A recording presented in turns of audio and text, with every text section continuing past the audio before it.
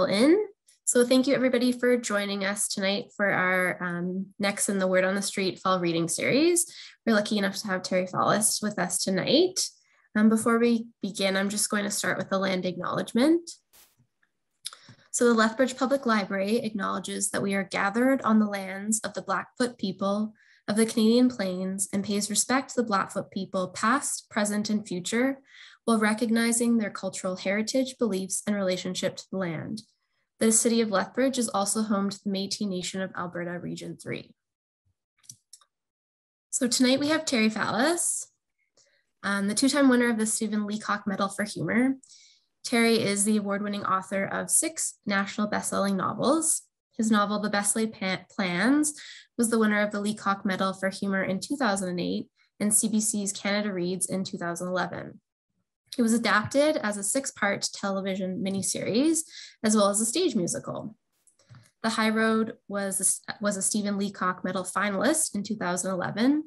Up and Down was the winner of the 2013 Ontario Library Association Evergreen Award and was a finalist for the 2013 Leacock Medal. His fourth novel, No Relation, released in May of 2014, debuted on the Globe and Mail bestseller list and won the 2015 Leacock Medal.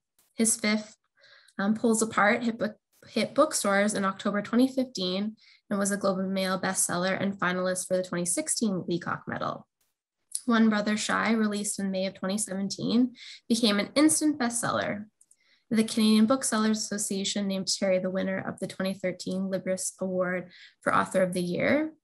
Terry earned uh, his Bachelor of Engineering degree at McMaster University and spent several years working in federal and Ontario politics. In, 20, in 1995, he co-founded the Thornley Fallis, um, a full-service communication and digital agency with offices in Toronto and Ottawa. He blogs um, at his website, terryfallis.com, and his Twitter handle is at terryfallis. So welcome, Terry. Wow, thank you, Carolyn. It's quite an impressive resume.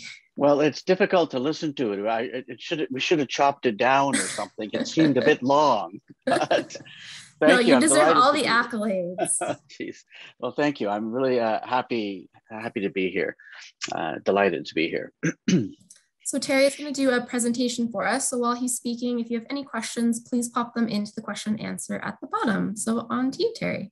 That's great. Thank you so much. Uh, I am very pleased to be here. I was telling Carolyn and Jonathan and Char earlier on that uh, it's been 40 years since I was last in Lethbridge. I'm embarrassed to say I would like to come back and hope I can do that sometime soon.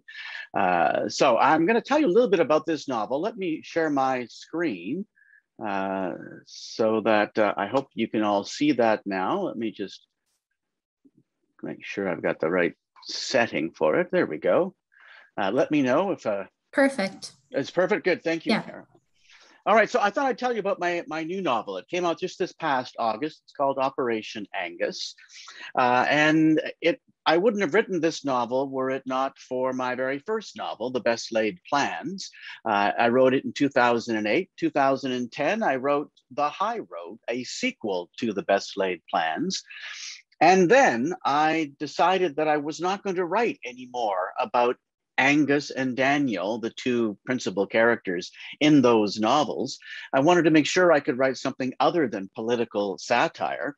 So I spent the next 11 years writing five more novels uh, that weren't about politics at all and didn't involve Angus and Daniel. They cover a range of other topics and lots of other characters before I have finally decided to return to the characters in my first uh, novel, uh, in my eighth novel, Operation Angus. But I would not have come back were it not for this first novel again. Uh, I call it the novel that keeps on giving. And Carolyn uh, was uh, kind to mention some of the things that happened to this novel. It felt completely out of my control after I wrote it, but it, miraculously won, in my mind, the 2008 Leacock Medal, which changed my life as a writer in an instant. A couple of years later, it won CBC Canada Reads, which is a blessing for any writer, but particularly for a newish writer, as I considered myself to be at the time, uh, because Canada Reads sells more books in this country than anything else except for the Giller Prize. So uh, it, it's wonderful. It, I think that I think of the Leacock Medal as what made me a writer, and Canada Reads made me a bestseller. And just having that little white badge on the on the front of the novel, Canada Reads winner, uh, is you know it's just a great blessing. So it's not so much what's between the covers of the book, just having that Canada Reads ba- badge on the front means it's going to sell lots of books. And it brought my characters into the minds and the hearts of many more Canadians than would otherwise have known them. Uh, if that weren't enough, uh, it did become a CBC six part television miniseries in 2014, which was lots of fun. I was kind of uh, on the periphery of the process. I got to review all of the scripts and make comments on them. I was on the set for shooting for three or four days. And I even have a cameo in the sixth episode. Uh, I play a, uh, a, a newly elected member of parliament, and you know, if you happen to go to the kitchen for a drink at the wrong moment in the sixth episode, you would never have, have seen me. Uh, and, you know, my phone has not been ringing off the hook for auditions for other TV spots, but it was fun to be involved, if only for a, a short scene in that. Uh, uh, in that TV series. And then in 2015, out in Vancouver, it became a stage musical and my wife and our two sons and I, we flew out for the first four performances of it. And that was a lot of fun. It's a wonderful show. The music is amazing. Uh, I really loved it. And I hope that at some point in the future, it, it tours and we might get to see it uh, east of the Rockies. So, with all of that, uh, you may be wondering, well, why bring Angus back now? Angus is the character, the accidental member of parliament uh, who features in all the first two novels and in this one. Well, there's an easy explanation for why bring Angus back. Uh, since 20, 2008, since 2008, when I wrote uh, The Best Laid Plans, or it was published, I have somehow managed to do over a thousand book talks. I didn't know that was the number, but some enterprising soul counted them up on my website because I have appearance pages for each of the last 12 years and added it up and, and emailed me to tell me that I, you know, about last August or so, I had passed the thousand talk threshold. But what I can tell you is that at every single one of those talks, and I mean every single one, when it comes to the question and answer period, whatever novel I'm talking about, somebody will raise their hand and say, We really like your new novel. It's great. Thank you for coming and speaking to us but nothing will ever top the best laid plans. When is Angus coming back? And that would happen time after time, novel after novel. They would always be asking for Angus. And it's, you know, in a way, it's not what writers love to hear that they peaked on their first novel and have been on a slow and steady decline ever since. Actually, I don't believe that. I don't think that way. Um, I, I just feel extraordinarily blessed that characters that I wrote in my first novel seem to have connected so well with Canadians and prompted an outcry for more Angus. And again, I can thank Canada Reads for that because, you know, more Canadians have read my first novel because of Canada Reads than have read any of my other novels. So it's perhaps logical that this should happen. So Angus is back by popular demand. I said, why am I fighting this? Uh, why don't I just write another novel with Angus in it and have some fun with it? And that's exactly uh, what I did. Uh, so let me tell you a little bit about this, the, the novel. First of all, the title. Why is it called Operation Angus? Well, in a way, we have this guy to thank for that. Uh, this is Phil Gurski. He's a former CSIS analyst uh, had a 15 year career with CSIS and spent many years in the Privy Council office in Ottawa as the intelligence advisor to the, to the Privy Council. Uh, he's a, a, you know, a prolific author. His specialty is terrorism. Um, well, that's what he studies. I don't. He is not a terrorist. He is a specialist in terrorism, uh, and just coincidentally, when I was beginning to noodle this novel around, beginning to plan it out and think about the storyline, uh, I decided I wanted to make uh, write sort of a comic thriller, sort of a spy espionage comic thriller. And out of the blue, as I'm thinking this through, Phil Gurski, whom I didn't know, emailed me and said, "Yes, someone suggested uh, that I might get together with you, and you you could talk to me a bit about book marketing." I don't know why he thought I I was good at book marketing, but someone had told him that. And then he proceeded to tell me he was a career uh, intelligence community operative, and uh, I said, "By all means, when can we meet?" so uh, he came to Toronto. We had uh, a coffee at Starbucks and we talked about book marketing. And then I got around to what I wanted to talk about uh, because I really wanted, uh, I never had written a thriller before, a spy story. So I really wanted to make sure that it at least, at least approached plausibility. So I, I picked his brain and he helped me understand how intelligence agencies work and the politics within them, uh, and uh, it was very helpful. So if this novel feels, you know, almost believable, it might be because of Phil's uh, influence in it. And it was his suggestion that we call it Operation Angus. I, I wanted Angus in the title because when you have an 11 year hiatus uh, between the last time you wrote about a character named Angus uh, and the current book, you want people to know that Angus is back. So I wanted Angus in the title. He suggested Operation Angus because most intelligence agencies around the world use that term, operation, to name their uh, their missions, their cases. So, and they usually use uh, the word operation and then a word. And the beginning of that word starts with a letter, and they they sort of count down alphabetically. So it's the same way we do tropical storms. Uh, so uh, we called it Operation Angus in the hopes that it would remind people that Angus is back, but also give that kind of sense of a uh, an adventure, a a spy thriller of sorts. So thank you, Phil, for that. Uh, this is my novel in a nutshell. Yeah, I know that's kind of lame, isn't it? But there you have it. Uh, let me just give you a sense of the story. These, there are no giveaways here because you learn most of this in the first chapter. But when the novel opens, uh, there's great tension between the government of Russia and the government of Great Britain, largely because Russian intelligence agents have come into Britain and poisoned and sometimes killed former Russian citizens who are critical of the Putin government, uh, just dissidents in general. Uh, and so that lies at the, at the, core of this story. Uh, and so, in a way, while the novel is fiction, of course, as most novels are, uh, the premise is quite real. This has re really happened uh, in England. Uh, there is an MI6 agent with a conscience uh, who has an important role to play in this novel. There's an assassination plot, or at least some evidence of a potential assassination plot in Ottawa against the life of the Russian president, who is coming to Ottawa for a one day meeting with the prime minister.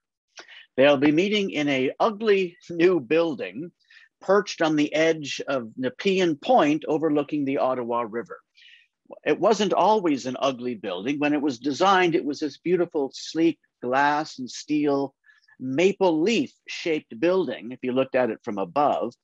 And it's cantilevered out off the cliff at Nepean Point over top of the Ottawa River. Unfortunately, the cliff face wasn't able to support the building. The engineering core samples of the geology in the in the cliff uh, weren't quite accurate, I guess. Uh, and they had to either decide to tear the building down when it was not yet even built or take some remedial measures to ensure that the building was stable. They chose the latter course. And now there are these big black braces underneath the building and above it, anchoring it to the cliff that weren't in the original design. So now it looks not unlike a big black spider crawling across the side of Nepean Point in Ottawa, just a stone's throw from Parliament Hill. And that has uh, aroused the ire of many citizens who th- think it should have been torn down and, and start again. So there are protesters at the site, and that's sort of a side story that uh, is in the novel. Lots of politics, lots of spy tradecraft, secrets, all of that goes on, even some gadgets. Uh, and Daniel and Angus are really on their own to try and thwart this assassination attempt because the MI6 agent who has sort of gone rogue and given them this intelligence uh, has sworn them to secrecy about her identity. And Daniel and Angus are true to their word, true to their principles. They refuse to share where they got this intelligence. So nobody back in Canada at CSIS and the RCMP believes them. So they are on their own to solve this mystery and to thwart this assassination attempt that they believe is going to happen. Well, there's one more thing. There is also a ballet in this novel, The Nutcracker. Uh, and you'll, I just thought all comic spy thrillers had ballets in them, so I thought I better put one in. No, there is a reason for this, and I will come back to that towards the end of, of this talk. Just to let you know about the settings in the novel, uh, the novel opens in London, England, where Angus and Daniel are there for meetings with their uh, uh, Russian counterparts to plan this meeting that's going to take place in Ottawa. Uh, there's an important meeting early in the book that you'll hear about when I do a quick reading that is set in a basement pub uh, in not far from where Angus and Daniel are staying. Much of the novel thereafter takes place in Ottawa, on Parliament Hill, uh, at Nepean Point, which is that middle picture, and the small town of Cumberland on the shores of the Ottawa River. Finally, we do visit Moscow later in the novel, and Angus and Daniel uh, visit the Kremlin. Uh, they stay in the Canadian Embassy, just that second picture. And that bottom picture, of course, as some of you probably already know, because maybe you've been there, is the Chess Museum in Moscow. Yes, there is a chess museum in Moscow, as you might, might expect. So there is a bit of globetrotting in the novel, but much of it takes place in, in Ottawa. Uh, I'm always interested in why writers write the stories they do. And if you've heard me speak before, you may know that I'm a member in good standing of the Write What You Know School of Writing. You can find pieces of me and pieces of my life strewn about the pages of my novels not in an autobiographical way. I don't write about me, but I do find it easier to write with authority and conviction and authenticity if I'm writing about something that I know about or have experienced or care about or even are passionate about. Uh, so that's how I approach my novels. Uh, and so I thought I would show you some of the uh, pieces of my own life that prompted me to write the story like this. So first of all, why have I written a story set in Ottawa that is at least partially about politics? Well, that's easy. I have to go back to uh, 1984.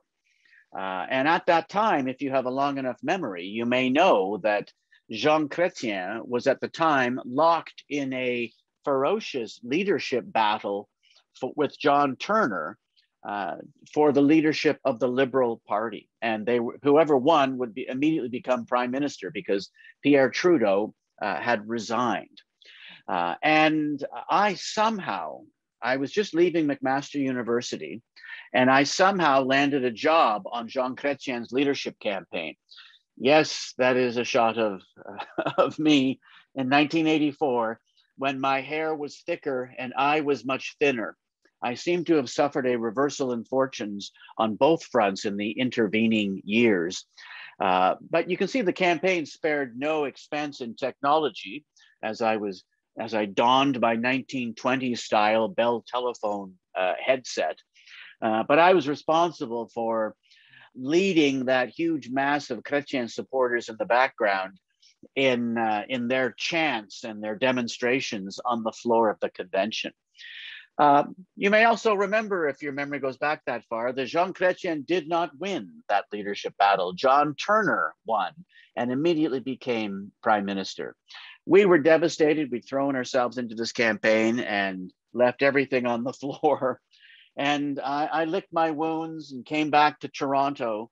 But I have to give John Turner credit. He realized that the party was quite fractured through this bruising leadership campaign. And he was going to call an election within a few weeks of this because he wanted to strike while the iron was hot. So he knew he needed to bring the party back together. And one of the things he did is that he plucked a few people from the other leadership camps to come to Ottawa to join the government to work on the campaign. And about two days after I returned to Ottawa, I got a phone call and was offered a job uh, with the new government. And two days later, I moved back to Ottawa and I joined the staff of the political staff of the Honorable Jean Lapierre, who was Minister of State for Youth. And because I had just emerged from about a, a three year, uh, three years of active work in the national student movement, which I should add is why I was in Lethbridge, Alberta in 1981. It was my very first national student conference at the University of Lethbridge. So I, I had all sorts of uh, experience in youth policy, public policy as it affects young people.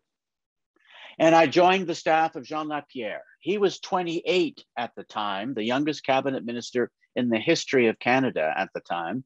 And I was 24. Uh, and I was uh, thrilled to be working in politics. Uh, I would have just been a volunteer and licked envelopes and marked voter lists for free, but I somehow, this is my second job in politics already in a matter of months. So I, I traveled with Jean Lapierre all, all across the country. Uh, we campaigned in the election campaign. I remember being once being uh, just Jean and I and a pilot in a rickety old Cessna uh, plane that you know seemed to be held together by sealing wax and, and string. Uh, and we flew through what felt like a force five gale into the wilds of Cape Breton to do a fundraiser for the Liberal finance minister at the time, Allan MacEachen. So I have some really interesting memories and stories of that time. uh, so I, have worked in Ottawa. I've been in the back rooms uh, and I took that experience and fashioned it into a, a novel or three novels to be exact. Uh, so I have some experience there and I, I write what I know. There may be also an earlier impetus in my life uh, to become involved in politics. Uh, this is the hockey team I played on in 1970, I think it was. I'm over here on this side of the screen. My identical twin brother Tim is on the other side of the of the bench on the front there. But guess who this is in the back? Some of you might know. Some of you might know. That is the Right Honorable Stephen Harper. It is true. When I was 10 years old, I played on the same hockey team as Stephen Harper. Even then, he was a dedicated right winger. He was also strong on defense. You couldn't expect someone like me to pass up that low hanging fruit, the hockey jokes. But uh, I don't actually remember Stephen then because it wasn't long after that he moved to the west end of Toronto before moving out to your fair province uh, later on. But uh, it is true, he has confirmed this. And uh, uh, I don't know whether he prompted my interest in politics. I suspect not, but I thought it was kind of a funny coincidence. Uh, why is Angus an engineering professor? That's what his profession was before he entered the House of Commons. Well, that's easy. Uh, I am an engineer by academic training. I think I remember Caroline mentioning that. Uh, so I, I, continue to wear the iron ring with pride, though I have never practiced engineering in the formal professional sense for one instant in my life. I left university, went straight into politics, and uh, stayed in politics for four or five years. And then after that, have, have had a 30 some odd year career as communications and public affairs consultant. However, I think I was an engineer before I went to McMaster. I think like an engineer, uh, a very methodological approach to problem solving. I view everything in the world through an engineer's lens, from how I give advice to clients to how I write novels. It's very much an engineering approach I take. So I know a lot about engineering. I know what engineering professors are like. So that's why Angus is an engineer. If you've read the first two novels, uh, or even this, this third one, Operation Angus, there is an appearance uh, of a hovercraft. Uh, in fact, a hovercraft plays a really important role in, in the first novel, at least. And why a hovercraft is a rather obscure mode of transportation. Uh, well, that's easy. The hovercraft on the screen there is a one that I designed while at university. It has never been built, uh, but I hope one day maybe it might be built and that it will leap off the pages of the novel and work just as effectively in real life as it does uh, in fiction. But still, you may be wondering why a hovercraft? Well, when I was 15, a classmate and I designed and built a full sized hovercraft. Uh, and it was called the GTH1. Uh, very cool name. Well, the G is for Jeff, my friend, the T is for Terry, and the H is for hovercraft. we went on to build another one. So this is the GTH1. So I'm 15 years old in that photo. I'm waving to you from the cockpit. Uh, I wasn't yet old enough to drive a car, but apparently I was old enough to drive a hovercraft around the parking lot of the Ontario Science Center, where the hovercraft was stored for several and on display for a few years thereafter. So I know far more than any sane individual ought to know about hovercrafts. And if you have read my first novel, now you know more than any sane individual ought to know about hovercrafts because I spared no detail. I, I, apologize for that, but it's all there. Uh, so there is a, a, little bit of chess in this novel, as there are in the first two novels. So why is there chess in the novel? Well, I have been, you know, oscillating between being interested in and being obsessed by chess for the last uh, 30 some odd years. I've played a lot of chess. Do not delude yourself into thinking that that means I'm a good chess player. I'm not really a good chess player. Even after this many years of playing the game, I can still have dramatic blind spots that cost me uh, games and certainly pieces on the board. But, but I got, it got me thinking about why I like chess so much. And I, it strikes me that, whoops, wrong way. It strikes me that chess is a game that requires a very good left side of your brain, where it's logic, it's science, it's rules. These pieces must move in a certain way. It's very left brain, mechanical, methodological approach, that sort of thing.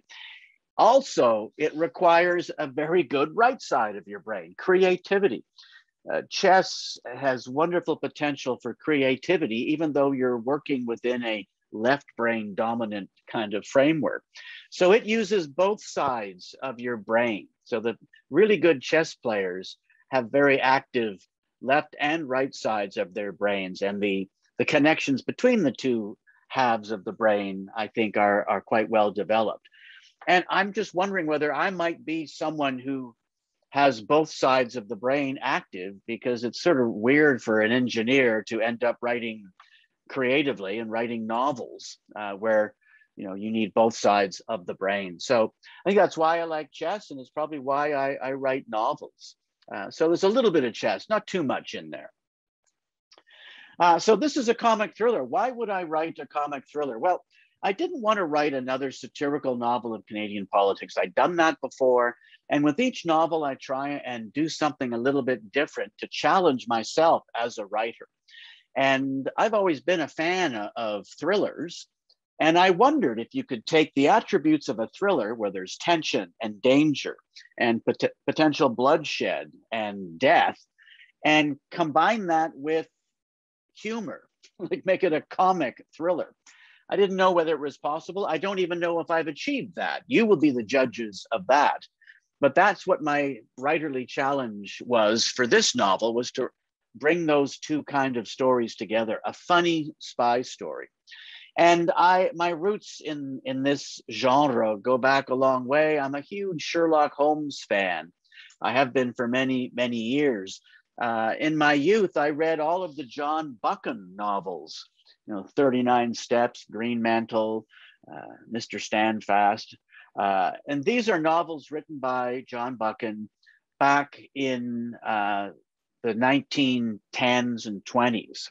So it's a long, long time ago. There's there's spy stories, uh, and I I love those books. Uh, as I got older, as a teenager, I, I, read Frederick Forsyth novels. I read Robert Ludlum.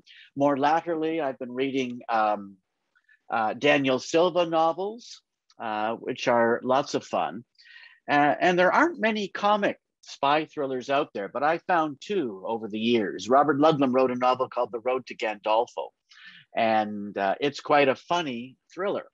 Hugh Laurie, the actor and the British comedian who starred as, as Gregory House in the House TV series, uh, he wrote a great, uh, funny spy novel called The Gun Seller.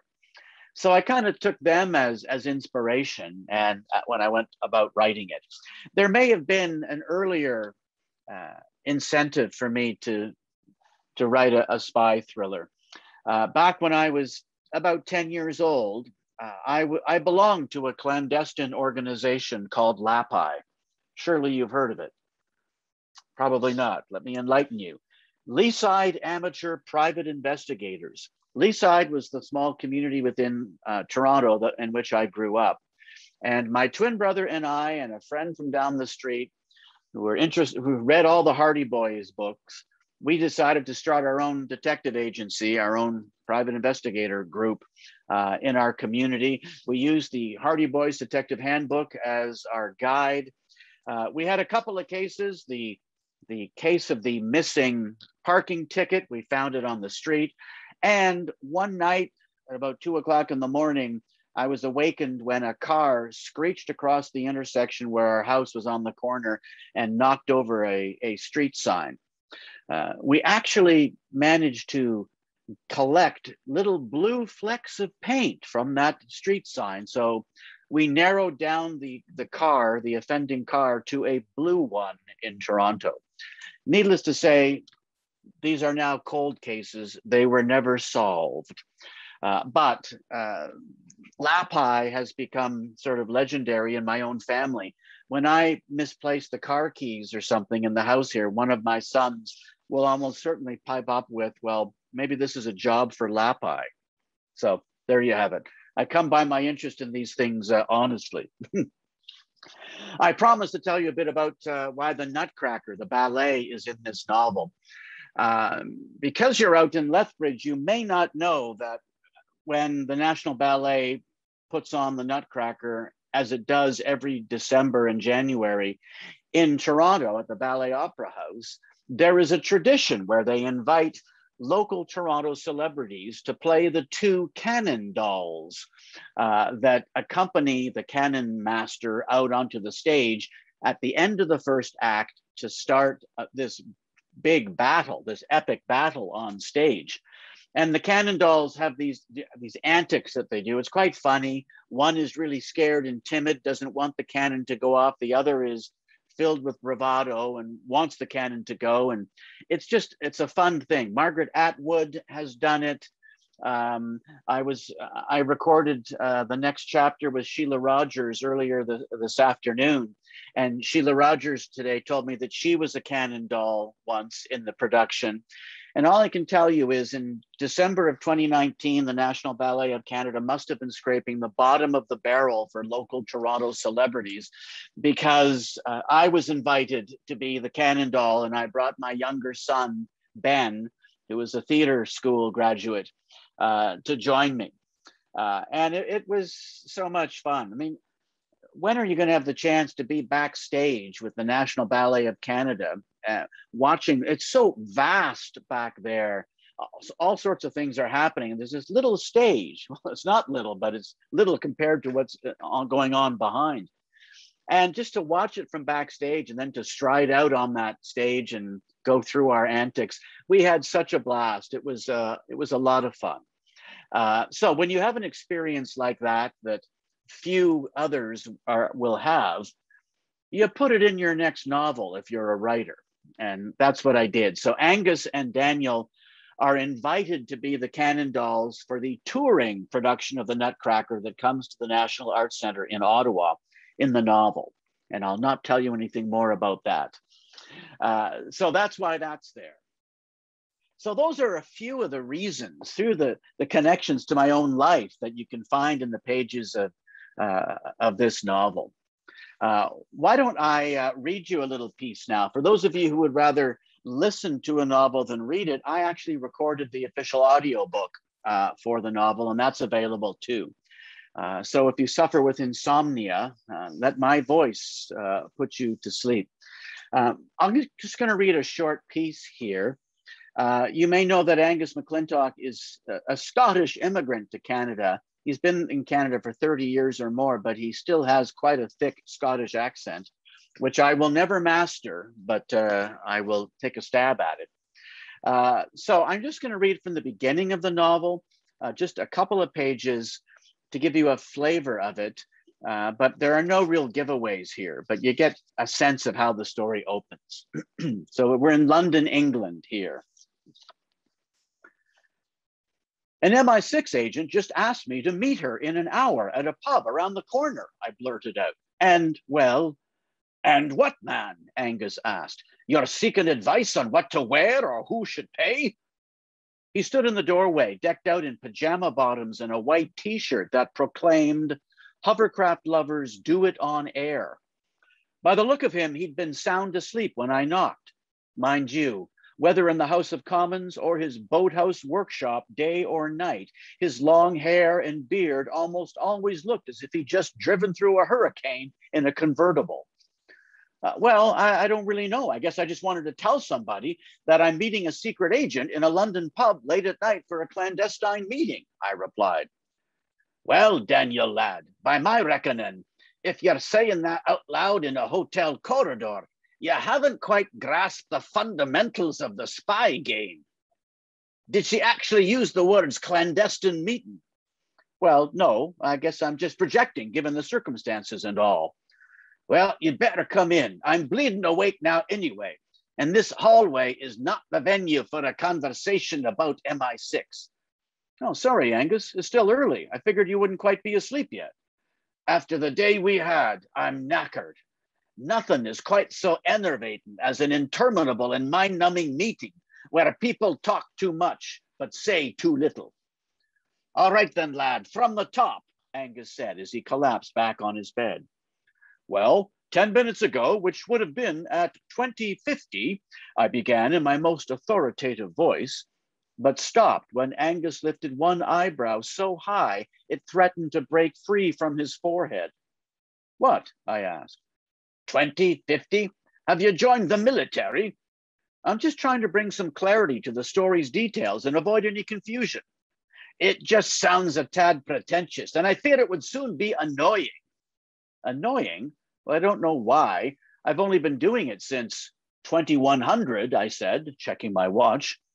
Besides, I'm just, just trying, I'm really just trying to get into the spirit of the evening. They always use the 24 hour clock in spy novels. James Bond never arrives 12 hours late for a secret rendezvous because MI6 uses the 24 hour clock. Oh, sorry, lad. Did you say something? I must have drifted back to sleep there. Now, can you move the sheep into the shearing pen with a wee bit more alacrity? Well, of course, but I don't know why we have to bring sheep into this. Anyway, the text came into my personal cell phone, not my government issued mobile. So the message was clean, off the grid, and off the books.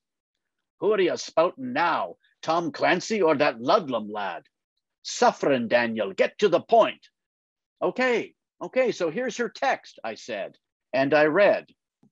I was in the briefing with you today, the no longer young woman seated on the far side, seated on the far side of the room from you and saying nothing. I'm MI6. Please meet me at 2200 at the Copper Cup Pub, back corner table, dark blue dress. It's important, strictly confidential, and very unofficial. While frightfully cliche, tell no one and do come alone. Well, I don't know how we're going to find you a dark blue dress to wear in the next hour, Angus said. Um, I think that's what she's going to be wearing. Ye gods, Daniel, can you not tell what I'm having you on? Right, sorry. I'm a little nervous and maybe a little excited. So, where is this copper cup? I've not heard of it. I Googled it. It's just around the corner from here. She must know where we're staying. Daniel, she's MI6. She probably knows what you had for breakfast and the brand of underwear you favor. And one thing's certain, you'll not be going on your own, a lamb to the slaughter. I'll be your. Angus snapped his fingers in search of the right word. Watson? No, not him. Robin to my Batman? Certainly not. Sancho Panza? Och, no, there'll be no tilting at windmills tonight. Wingman? And that's my final offer. That's it. I, wingman. I'll be your wingman. I wasn't sure a wingman was a good idea. On the other hand, two heads are better than one when venturing into uncharted waters. A paddle wouldn't hurt either. But her instructions were not to speak to anyone and to come alone. She might bolt if we both show up. No, I not think so. Not if I arrive after you've already sat down. Besides, a few fingers of single malt would aid a smooth return to the horizontal when we get back here. I replied to her text, agreeing to meet her. Then Angus and I cooked up a plan, or at least the pale imitation of something that approached the impression of a hazy semblance of a plan. And I think I'll just stop there before the fireworks begin. uh, I think I've probably taxed your time quite a bit uh, already, but I would be delighted to respond to any questions that you might have. So let me stop sharing my screen. And we are back. Thank I you. See the Q- great. I hear the I see the Q and A box is chock full of questions. I had some prepared, and a few people sent Excellent. us some, so we Excellent. will start with those ones. And if anybody else thinks of anything, please go right ahead and put them in there. Um, so one of the questions I had was, um, all of your novels are so chock full of humor. What is the key to writing humor? Because there are a lot of things that are funny, but like your humor is, it, you just get it. it. It's always funny. It's always really good. How do you, how do you write humor? Wow, that's very kind of you. Could you come to all of my talks and ask that question? um, well, I think I don't. I'm not even sure I, there is an answer to that. I think the answer is it's helpful to have a sense of humor because it's. Uh, I don't know where humor comes from. What I can tell you is I grew up in a household and a family that was filled with humor almost 24 hours a day. Uh, my father had a very dry sense of humor. My mother was quite funny. And of course, I grew up with an identical twin brother, and we were always competing in a good natured way, but and we still are to this day. Uh, but we would sort of compete at the dinner table to try and get my father to laugh, who had a very high laughter threshold. Uh, so we had lots of practice in finding things that were funny and twisting them and delivering them in a way that made them even funnier and I don't know. Uh, there's no formal training. Um, I'm just a fan of humor. And the lines you read in the novel, and I, am not kidding at all when I say this, the lines you read in the novel are just the ones that I would be using around the house, uh, just talking with my wife and, and kids and colleagues at work. Uh, uh, so it it just it's a I hope it's it's natural and organic. What I try to avoid doing is reading through something and saying, well, I need to insert some humor here. And then you go back and you try and bolt some humor on to the to the manuscript. I, I try not to do that because I think it's very easy to pick up things that you have bolted on to the story that don't quite sit smoothly in the flow. Um, I also learned after my first novel, I think, uh, that less is sometimes more. And when it comes to humor, uh, I think that's that's good advice. In my first novel, The Best Laid Plans, uh, I'd never written a novel before. I didn't know what I was doing. I wanted to be a funny novel. So I just threw every kind of humor I could think of into the novel. Uh, and uh, what I didn't realize is that the character and the story can shoulder a lot of the weight. You don't need to keep throwing in yet another one liner to keep the reader interested if you've developed characters that are memorable and likable uh, or not likable as the case may be and and a story that that moves along.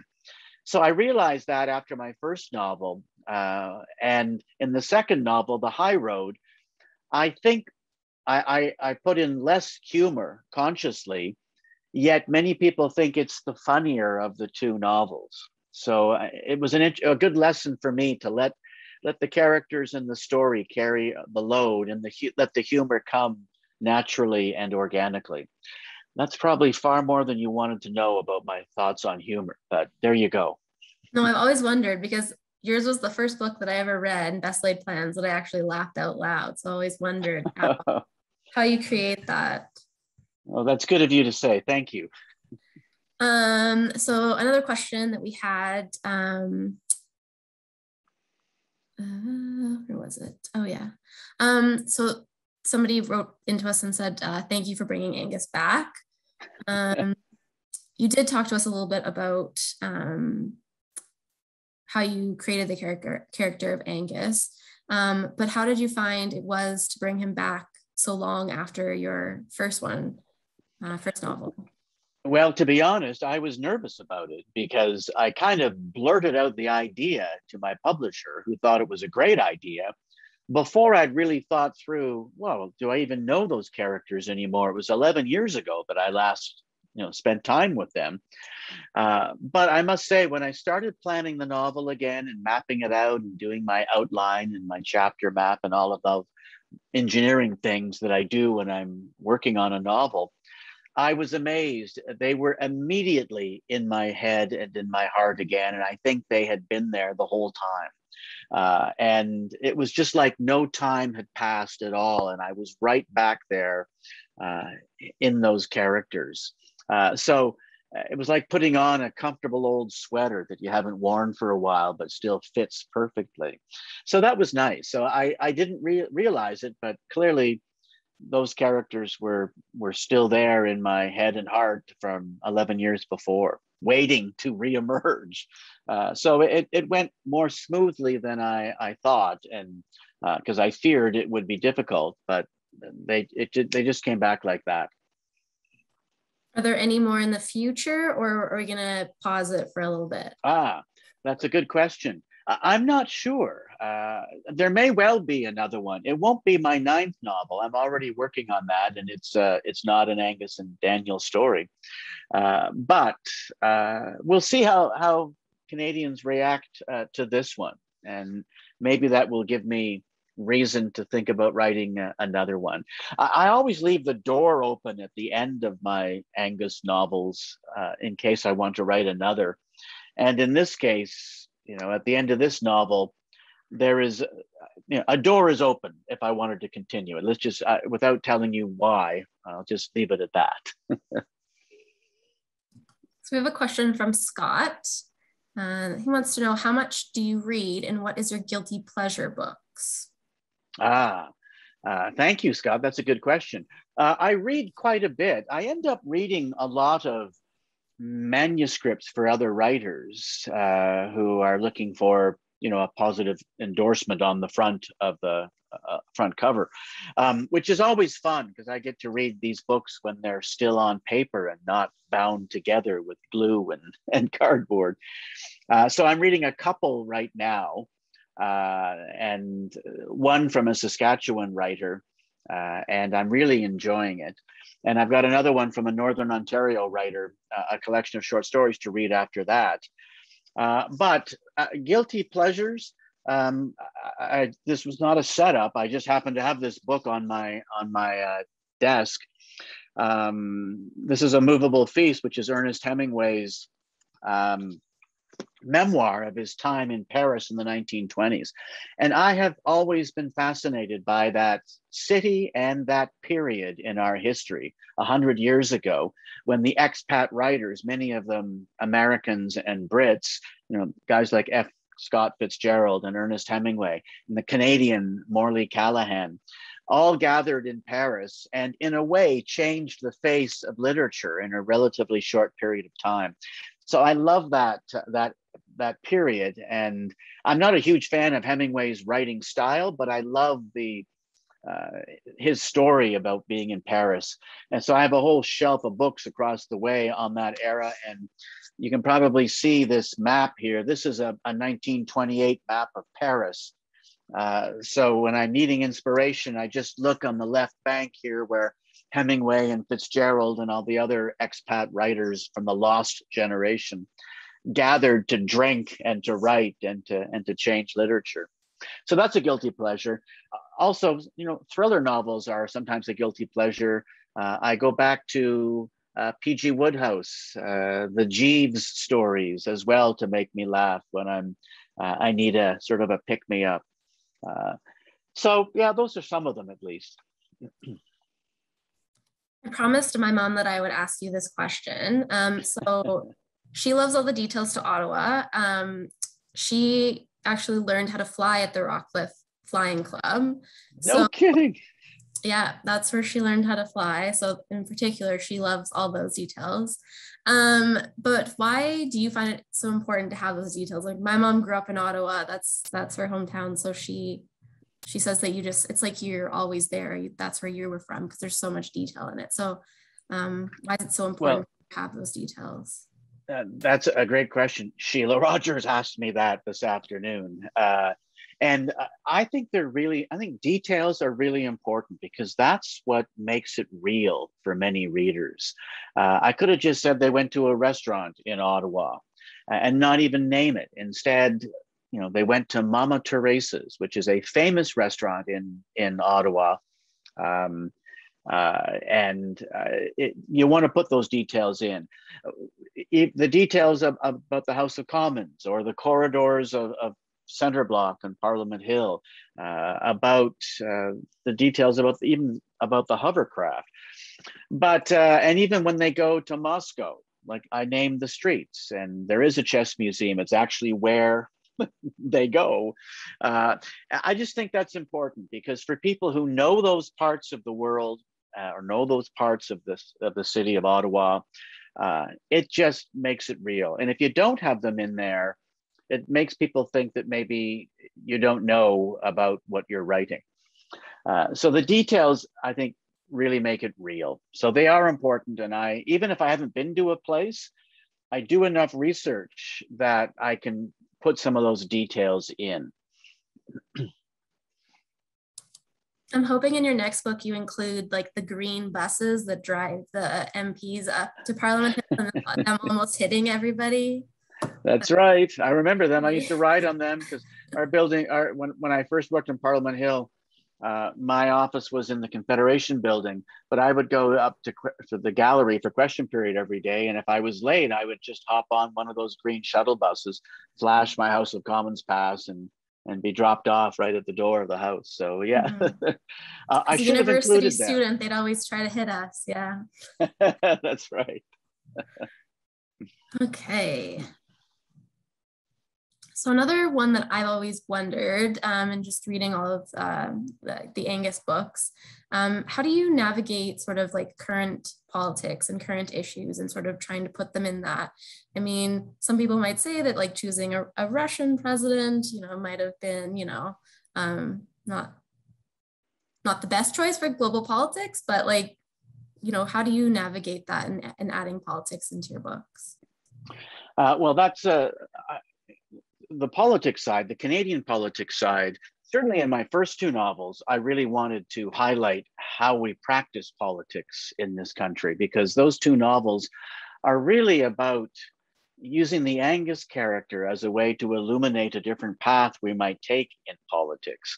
Uh, those are my love letters to democracy, and I'm not particularly happy with how we practice politics. So th- that's what those novels are all about. It's a you know a, a self-help guide for our our democratic institutions. Um, but I, I didn't want to write a rage-filled nonfiction polemic that nobody would have ever published and nobody would have read. So I cloaked my ideas in a funny story and put my thoughts in the minds and the mouths of some characters you might come to like. So the politics and the problems with politics that are outlined in those first two novels are current and real and uh, the bane of my existence. I, I, wanted to address them. Um, for, and this novel, I, I wanted, I didn't want the focus to be on, on sort of the, hmm, how can I put this? It wasn't the plot that was important. It was that some crime was being about to be committed that Angus and Daniel knew about. So the novel is really about them figuring out how to solve this, how to thwart the attempt. But I had to choose something to create that. So I, I, I made this the sleeper cell, a Chechen sleeper cell. Chechnya is would like to be an independent uh, nation in uh, in now part of Russia, and they have been agitating for a long time for the, the right to self-determination and independence and uh, Vladimir Putin has just been shutting them down. So there have been Chechen assassination attempts on the life of Vladimir Putin. So that's rooted in reality as well. Um, but I didn't want it to be about the issue. I wanted to be about Angus and Daniel solving this this crime. So uh, that's and it's also why it wasn't. I didn't make it a terrorism plot because this isn't terrorism. The uh, the, the culprits in this story were not trying to terrorize Canadians to get our government to do something. Uh, that's sort of the definition of terrorism.